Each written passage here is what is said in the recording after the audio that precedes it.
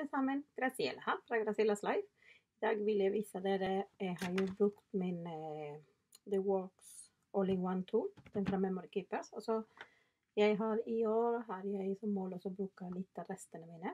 Som dere har sett før. Jeg har jo eh, delt i små, små bokser, små deler, og så større konvolutter som er større. Av eh, noen mønsterark som jeg alltid bruker, har jeg eh, laget noen konvolutter.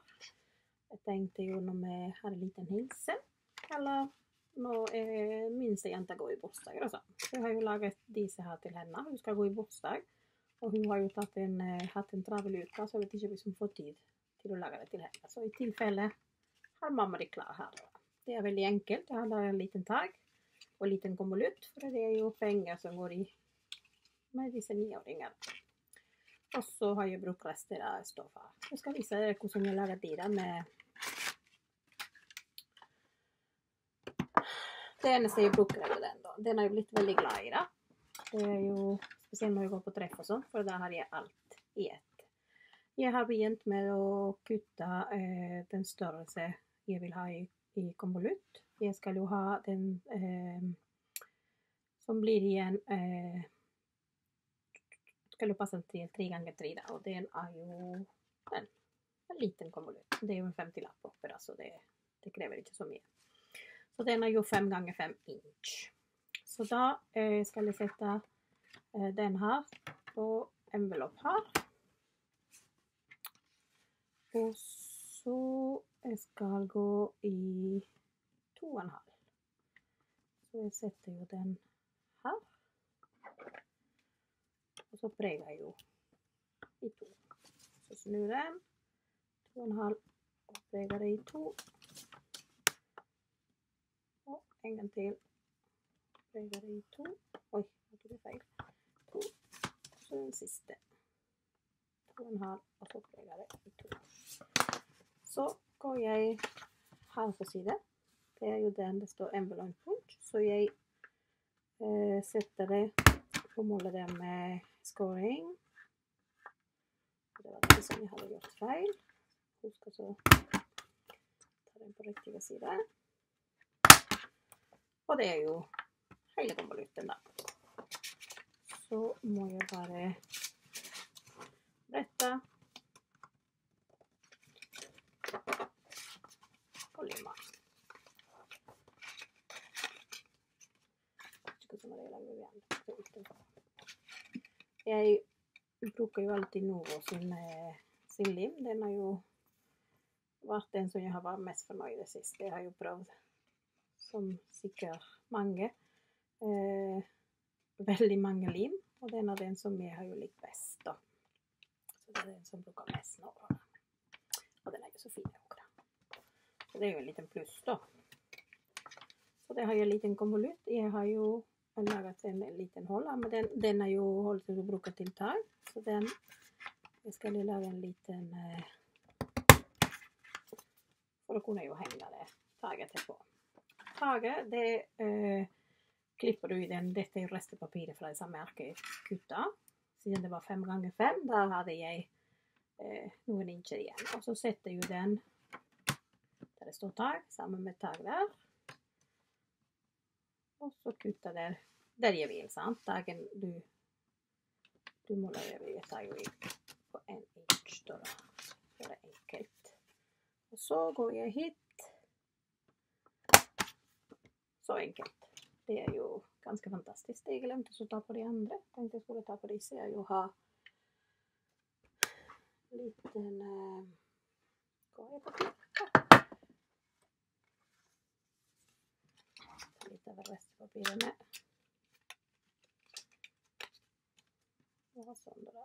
Det viser ikke så mye likevel, da, men alltid kjekt det med. Så tenkte jeg den dagen kan hun skrive navnet til jenta, og så en liten hilse på baksiden, da. Det skal hun. Hun pleier alltid å tegne og lage kortene sjøl. Denne uka har vært veldig travelt, så i dag skal hun få besøk. Så jeg har ikke så lyst til å begynne å masse på henne før hun skal gjøre dette ordet. Eh, disse er jo noen rester jeg hadde også fra papir. Det, det, er jo litt vet ikke om det er litt vanskelig å se. Det er litt sånn lyseblå. Det har jo hatt eh, blå kritt på dem. Så det ble jo sånn ikke helt, helt hvite, da. Så jeg bare bretter jo litt, sånn at den blir bretta på baksiden der. Veldig enkle. Disse arkene Jeg kan ikke huske hvem sine det er. Jeg har jo nok hatt de siden jeg begynte i 2005, var det sånn cirka. Jeg begynte med skaping, så det er jo Det er veldig gamle. Kanskje noen husker hvem sine det er. Det, var jo, det, var, det er jo et, et barneblokk med masse hadde masse glitter. På noen embossing-glitter, og andre var jo enkle, da. Men det er det som jeg brukte til dattera mi som sitt babyalbum. Men nå har hun blitt 18, så det begynner å bli noen år siden. Sånn. Og så tenkte jeg jeg bruker jo siste stoffrester som jeg hadde jo Som jeg hadde jo her.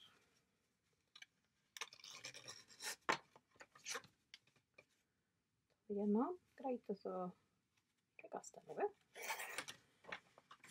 Det blir litt gjenbrukt, så vi føler at det er jo litt kjekkere å kjøpe ting da, kanskje. For vi har jo vært gode med miljøet når vi kjøper andre ting, da. Og så et simpelt og enkelt liten, liten sløyfe. Veldig enkelt. Jeg har jo hatt uh, på denne liten Jeg hadde noen stempler Disse har jeg stempla for lenge siden nå, så jeg tenkte jeg skulle ha dem på. Så var det at noen hadde hjerte, så det ser ut som det var valentines, men det tror det skal gå bra, det, da.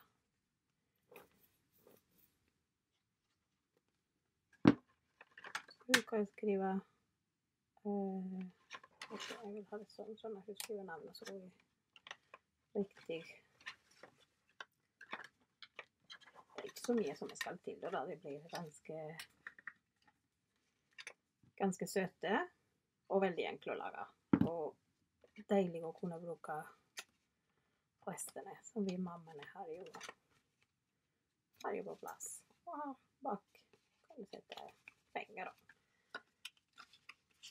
Det er det alle de jentene har lyst til å ha nå.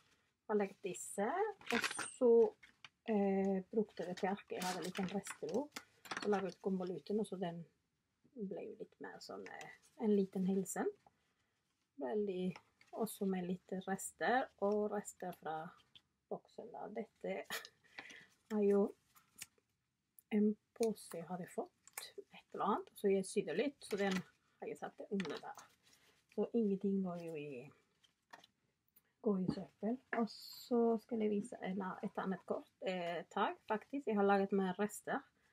Jeg var på papirfest i helga, og det var jo eh, utfordring med å bruke striper. Og den ble jo den. Jeg hadde jo masse rester. Så det har jeg bare limt på en tag som jeg lagde sjøl. Enkelt gratulerer med dagen, da. Så det er jo noen ganger ikke så mye som jeg skal til. Og jeg så jeg får lov til å sy sjøl. Jeg synes det ble, ble, ganske fine, da. Og så jeg har jo som sagt sortert eh, små restene der, så hvis jeg skal jo lage et lite kort i full fart Det er jo Jeg hadde sortert noe som passer med fargene. Det er jo alltid bare lima, og så setter de sammen det som eh, passer best ikke alltid noe fine oppi boksen, da, da. men eh, av og til er det greit også, så får det til å, til å passe. Da. Og ikke alltid skal det være perfekt. Da. Men selvfølgelig, det blir jo mange rester etter hvert. Mye som Jeg har jo en annen med smådags. Noen som har jo laga, selv laga. Noen andre som har jo noen fra klesplagg og sånt som var så fine. Og så disse som av og til forkler meg i tøy. De er veldig fine også til å bruke. Den har vært der i mange år, så fine til å bruke, men det blir ikke brukt. Kanskje fordi den er så fin. Så det har jeg Jeg vet ikke om jeg har kjøpt disse ferdige eller kutta det. Så det er bare å limme, og så får vi et lite kart.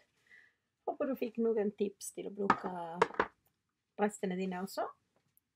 Og så blir jeg veldig glad hvis du har lyst til å, til å bli abonnent, abonnent i kanalen min. Da. Så snakkes vi. Ha det!